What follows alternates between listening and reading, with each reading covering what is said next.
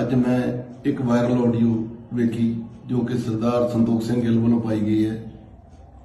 ਇਸ ਆਡੀਓ ਵਿੱਚ ਉਹਨਾਂ ਵੱਲੋਂ ਕਿਹਾ ਗਿਆ ਹੈ ਕਿ ਉਹਨਾਂ ਨੂੰ ਖਤਰਾ ਹੈ, ਉਹਨਾਂ ਨੂੰ ਥ੍ਰੈਟ ਕਾਲ ਆਈ ਹੈ ਤੇ 50 ਲੱਖ ਰੁਪਏ ਫਰੋਤੀ ਦੀ ਮੰਗ ਕੀਤੀ ਗਈ ਹੈ। ਸਰਦਾਰ ਸੰਤੋਖ ਸਿੰਘ ਗਿੱਲ ਦੇ ਖਿਲਾਫ 7-8 ਕ੍ਰਿਮੀਨਲ ਮੁਕੱਦਮੇ ਦਰਜ ਹਨ। ਪਰੰਤੂ ਫਿਰ ਵੀ ਇਹਨਾਂ ਨੂੰ ਪੰਜਾਬ ਪੁਲਿਸ ਵੱਲੋਂ ਸੁਰੱਖਿਆ ਮੁਹੱਈਆ ਕੀਤੀ ਗਈ ਹੈ।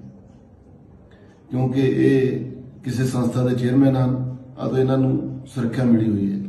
ਪਰੰਤੂ ਚੈਕਿੰਗ ਦੌਰਾਨ ਇਹਨਾਂ ਵੱਲੋਂ ਆਪਣੀ ਸੁਰੱਖਿਆ ਦੀ ਦੁਰਵਰਤੋਂ ਕੀਤੀ ਗਈ, ਜਿਸ ਨੂੰ ਅਜਿਹੀ ਦੁਰਵਰਤੋਂ ਕਰਨ ਤੋਂ ਵਰਜਿਆ ਗਿਆ, ਜਿਸ ਕਾਰਨ ਇਹਨਾਂ ਵੱਲੋਂ ਸੋਸ਼ਲ ਮੀਡੀਆ ਤੇ ਪੋਸਟ ਪਾ ਕੇ ਲੋਕਾਂ ਨੂੰ ਗੁੰਮਰਾਹ ਕੀਤਾ ਗਿਆ। ਇਸ ਵਿੱਚ ਕੋਈ ਸੱਚਾਈ ਨਹੀਂ ਹੈ। ਇਹਨਾਂ ਦੀ ਕੰਪਲੇਂਟ ਦੀ ਅਸੀਂ ਤਸਦੀਕ ਕਰ ਰਹੇ ਹਾਂ, ਜੋ ਅਜੇ ਵਿਚਾਰਧੀਨ ਹੈ ਔਰ ਜਲਦੀ ਹੀ ਤਸਦੀਕ ਹੋ ਜਾਵੇਗੀ। ਤਸਦੀਕ ਉਪਰੰਤ ਬਣਦੀ ਕਾਨੂੰਨੀ ਕਾਰਵਾਈ ਅਮਲ ਵਿੱਚ ਲਿਆ ਦਿੱਤੀ ਜਾਵੇਗੀ। ਅੱਜ ਮੈਂ ਇੱਕ ਵਾਇਰਲ ਆਡੀਓ ਵੇਖੀ, ਜੋ ਕਿ ਸਰਦਾਰ ਸੰਤੋਖ ਸਿੰਘ ਗਿੱਲ ਵੱਲੋਂ ਪਾਈ ਗਈ ਹੈ। ਇਸ ਆਡੀਓ ਵਿੱਚ ਉਹਨਾਂ ਵੱਲੋਂ ਕਿਹਾ ਗਿਆ ਹੈ ਕਿ ਉਹਨਾਂ ਨੂੰ ਖਤਰਾ ਹੈ, ਉਹਨਾਂ ਨੂੰ ਥ੍ਰੈਟ ਕਾਲ ਆਈ ਹੈ ਤੇ 50 ਲੱਖ ਰੁਪਏ ਫਰੋਤੀ ਦੀ ਮੰਗ ਕੀਤੀ ਗਈ ਹੈ। ਸਰਦਾਰ ਸੰਤੋਖ ਸਿੰਘ ਗਿੱਲ ਦੇ ਖਿਲਾਫ 7-8 ਕ੍ਰਿਮੀਨਲ ਮੁਕੱਦਮੇ ਦਰਜ ਹਨ।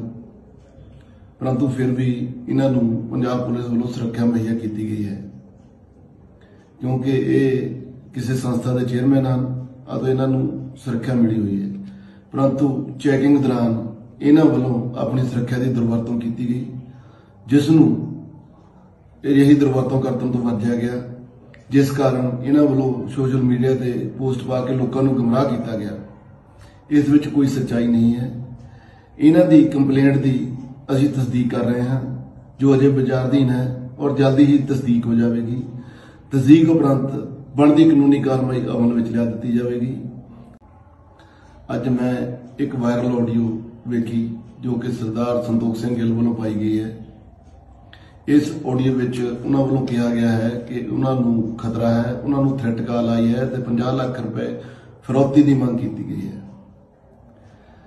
ਸਰਦਾਰ ਸੰਤੋਖ ਸਿੰਘ ਗਿੱਲ ਦੇ ਖਿਲਾਫ 7-8 ਕ੍ਰਿਮੀਨਲ ਮੁਕੱਦਮੇ ਦਰਜ ਹਨ। ਪਰੰਤੂ ਫਿਰ ਵੀ ਇਹਨਾਂ ਨੂੰ ਪੰਜਾਬ ਪੁਲਿਸ ਵੱਲੋਂ ਸੁਰੱਖਿਆ ਮੁਹੱਈਆ ਕੀਤੀ ਗਈ ਹੈ। ਕਿਉਂਕਿ ਇਹ ਕਿਸੇ ਸੰਸਥਾ ਦੇ ਚੇਅਰਮੈਨ ਹਨ ਅਤੇ ਇਹਨਾਂ ਨੂੰ ਸੁਰੱਖਿਆ ਮਿਲੀ ਹੋਈ ਹੈ। ਪਰੰਤੂ ਚੈਕਿੰਗ ਦੌਰਾਨ ਇਹਨਾਂ ਵੱਲੋਂ ਆਪਣੀ ਸੁਰੱਖਿਆ ਦੀ ਦੁਰਵਰਤੋਂ ਕੀਤੀ ਗਈ, ਜਿਸ ਨੂੰ ਅਜਿਹੀ ਦੁਰਵਰਤੋਂ ਕਰਨ ਤੋਂ ਵਰਜਿਆ ਗਿਆ। ਜਿਸ ਕਾਰਨ ਇਹਨਾਂ ਵੱਲੋਂ ਸੋਸ਼ਲ ਮੀਡੀਆ ਤੇ ਪੋਸਟ ਪਾ ਕੇ ਲੋਕਾਂ ਨੂੰ ਗੁੰਮਰਾਹ ਕੀਤਾ ਗਿਆ। ਇਸ ਵਿੱਚ ਕੋਈ ਸੱਚਾਈ ਨਹੀਂ ਹੈ। ਇਹਨਾਂ ਦੀ ਕੰਪਲੇਂਟ ਦੀ ਅਸੀਂ ਤਸਦੀਕ ਕਰ ਰਹੇ ਹਾਂ, ਜੋ ਅਜੇ ਵਿਚਾਰਧੀਨ ਹੈ ਔਰ ਜਲਦੀ ਹੀ ਤਸਦੀਕ ਹੋ ਜਾਵੇਗੀ। ਤਸਦੀਕ ਉਪਰੰਤ ਬਣਦੀ ਕਾਨੂੰਨੀ ਕਾਰਵਾਈ ਅਮਲ ਵਿੱਚ ਲਿਆ ਦਿੱਤੀ ਜਾਵੇਗੀ।